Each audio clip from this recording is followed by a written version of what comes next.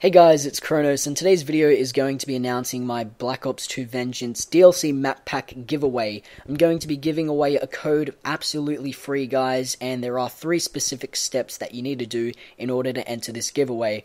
So the three steps are, number one, you need to be subscribed to me, Number two, you need to like the video. And number three, the most important step is that you need to leave a comment down below so I can actually see your username.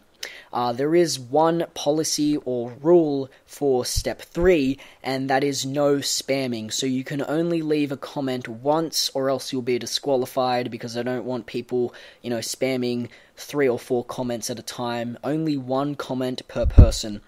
Alright, guys, so best of luck. This giveaway is going to be up for about a week. It's going to close on the 29th of June 2013, and whoever I randomly pick um, I will send a YouTube inbox message to them, and you will need to reply back to me in order to claim your code. So I'm going to send you a message telling you that you've won, and you need to reply back to tell me that um, you know, yes, okay, I'm here to claim my prize. If you don't, however, reply to me within 24 hours, I cannot send you the code and I'll just pick someone else. So you need to make sure on the 29th of June that you receive my message uh, so you can reply back to me as soon as possible, or else I'll pick someone else.